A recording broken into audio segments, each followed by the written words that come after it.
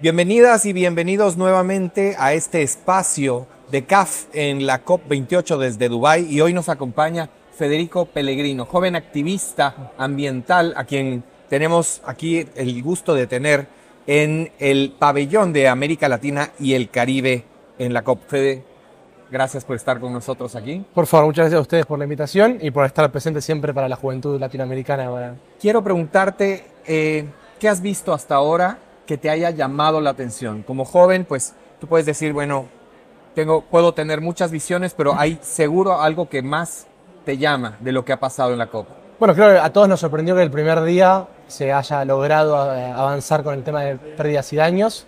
Es un buen comienzo, un, buen pie derecho que por lo que estuvimos hablando a los negociadores les genera un buen clima de época, un buen momento, un eh, humor social, por así decirlo, en las negociaciones.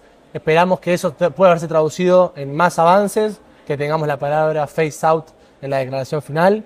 Es un país polémico, o algunos lo plantean así, eh, pero por ahí justamente eso, el hecho de ser un país petrolero, el hecho de que están los, los negocios, el lobby petrolero tan presente, no en el nivel malo, ¿no? Eh, puede generar que bueno, tengamos una conversación más sincera, que los gobiernos también se sinceren, porque los gobiernos muchas veces vienen acá a decir una cosa y después vuelven y hacen otra. Entonces por ahí con, los, con todos los actores sobre la mesa se pueda profundizar todavía más la agenda del cambio climático quiero que me ayudes a explicar algo que se suele leer en redes sociales, en comentarios del público en general, no de los, de, los conocedores del mundo del cambio climático y de las conversaciones sobre medio ambiente en, general. Y es, ¿por qué se van a Dubái? ¿Por qué se van a un país petrolero? ¿Por qué hay tantos países, tantos aviones, tanta eh, infraestructura y movimiento para tener conversaciones sobre el clima? ¿Cómo le explicarías tú al público en general, a esta gran audiencia de redes sociales, cuál es la importancia de una COP, independientemente de que sea en Emiratos Árabes Unidos. Porque es el Mundial del Clima. Es donde todo el ecosistema del cambio climático, todas las personas estamos trabajando, o todas las empresas, todos los organismos internacionales que tienen relación con el cambio climático, se juntan una vez al año. Y uno podría decir, bueno, pero lo haces virtual. Vayamos a lo concreto. Cuando, estuvo la pandemia, cuando teníamos que ir a la facultad, cuando teníamos que ir al trabajo, ¿era lo mismo que ir a presencial? ¿Es lo mismo hacer un espacio de networking, conocer gente a nivel virtual que a nivel presencial? No, no es lo mismo. Y un espacio fundamental, por lo menos, digo, desde la juventud latinoamericana, ¿por qué venimos a estos eventos? Porque acá de repente te puedes también encontrar con grandes financiadores que le cambian la realidad a la, gente en nuestra región. Digo, nosotros somos, de alguna manera, o tenemos la pretensión de ser un puente entre los flujos financieros internacionales que tienen un lenguaje burocrático, que tienen un lenguaje que, es distinto a, lo que, los trabajos en comunidad, bueno, llevar ese flujo a impacto real en, eh, en, el territorio. Bueno, para eso tenés que venir presencial, no alcanza con mandar un mail o mandar coso, y acá se dan muchas cosas presenciales que, bueno, gira en torno a la COP, porque la COP, si bien es una instancia formal de negociación en donde se encuentran las partes, también hay todo un evento paralelo en donde la sociedad civil, los privados, los actores públicos se juntan a eh, debatir y hablar sobre cómo estamos viendo la situación del cambio climático y qué tenemos que hacer y pensar proyectos. Ahora, como joven latinoamericano y estando en una red de jóvenes latinoamericanos por el clima, ¿cuáles son sus principales demandas hacia los países, sobre todo, que han venido causando la mayor cantidad, en este caso, de emisiones que hoy nos tienen en la situación pues, que nos encontramos como planeta? Bueno, creo que lo que nos caracteriza por América Latina, que es una región que ha contribuido muy poco al cambio climático, pero que va a sufrir muchísimo las consecuencias, es que se activen mejor, con mayor cantidad y mayor calidad, los flujos financieros. Es decir, que bajen recursos para que nuestra región, y África y el sur de Asia también, se puedan adaptar a las consecuencias del cambio climático. Que ya es una realidad, que ya le va a empeorar la vida a nuestra gente, entonces es una cuestión de derechos humanos, no es que estamos hablando de salvar a las ballenas o el cambio climático, que también tenemos que hacerlo, pero estamos diciendo, che, si nuestra región no está en la mesa si en nuestra región no está debatiendo, bueno, nuestra gente la va a pasar muy mal. Después también, por supuesto, con lo que tiene que ver con pérdidas y años. Es decir, bueno, tenemos una atmósfera compartida.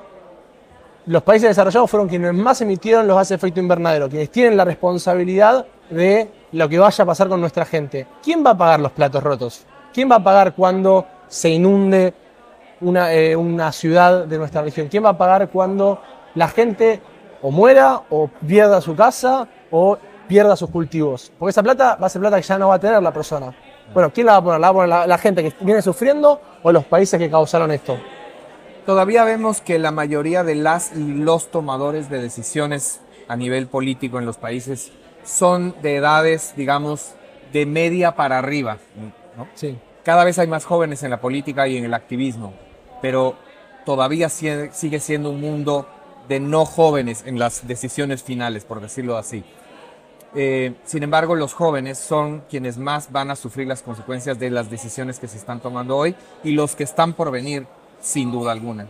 ¿Qué les dices tú a estas generaciones que quizás no van a estar presentes cuando sentamos las primeras grandes olas? Porque ya hemos visto los primeros efectos fuertes de la anunciada, eh, del anunciado cambio climático eh, en estos años, sobre todo este año ha sido el más caliente en la historia del planeta Tierra pero ¿qué le dices tú a las personas que están legislando, que están gobernando para las futuras generaciones que tienen que hacer hoy?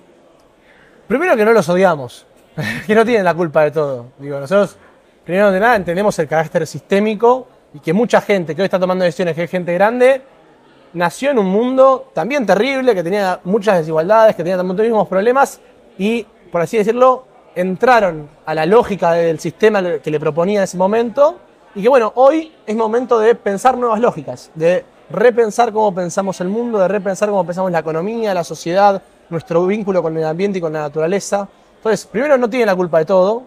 Segundo, los necesitamos, porque esta idea de que, bueno, llegan los jóvenes a tomar las decisiones.